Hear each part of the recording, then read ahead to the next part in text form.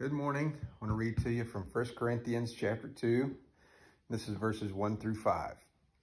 It says, When I, Paul, first came to you, dear brothers and sisters, I didn't use lofty words and impressive wisdom to tell you God's secret plan.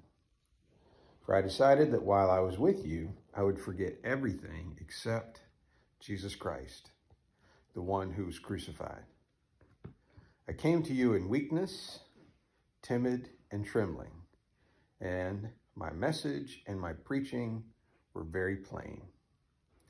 Rather than using clever and persuasive speeches, I relied only on the power of the Holy Spirit. I did this so you would trust not in human wisdom, but in the power of God. You know, there's a fine line that preachers, teachers, evangelists must walk when sharing the gospel, when, when teaching, when preaching.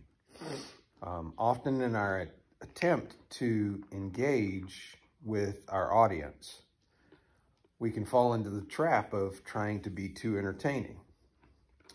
So we look for one too many jokes or illustrations or stories at the expense of the straightforward presentation of God's Word and a study of His Word.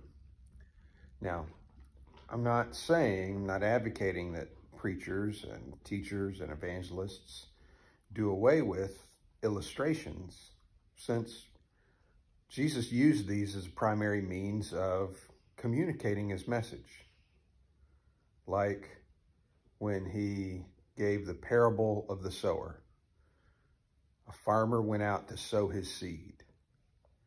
And we know how the story goes. He took some seed and he scattered it on the path, the rocky soil, the thorns, and on the good soil. And he told this parable and it was an illustration of the message, the point of his message that we should be going and, and sharing the gospel wherever we go. Um, he started off the parable of the prodigal son. A man had two sons. The younger said to his father, give me my portion of the inheritance. And that parable of the prodigal son was used to illustrate uh, a point about the patience of the father in waiting for his younger son and his older son to come around.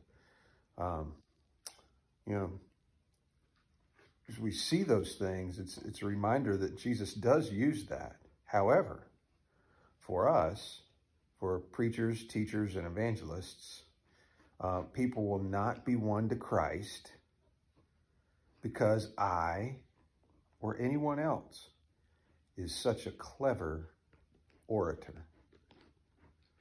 And if they are, then there's something wrong with that conversion. People will be won to Christ by the work of the Holy Spirit as the Father draws them. So, our goal is to share Christ and allow the Holy Spirit to draw people to him. Pray with me. God, thank you for your word. Thank you for the way that you teach us through your word. And as we share your word, remind us that we don't have to add a bunch of things to your word to make it more palatable, to make it more understandable. Lord, you tell us that the Holy Spirit will lead us into all truth. As we commit ourselves to studying your word, we know, God, that you will help us to grasp the truth of your word through your spirit. We pray your blessing on our day and ask that you would watch over us as we seek to share your love with those around us. We pray this in Jesus' name. Amen. Okay, friends, good to have you with us today. We'll see you tomorrow.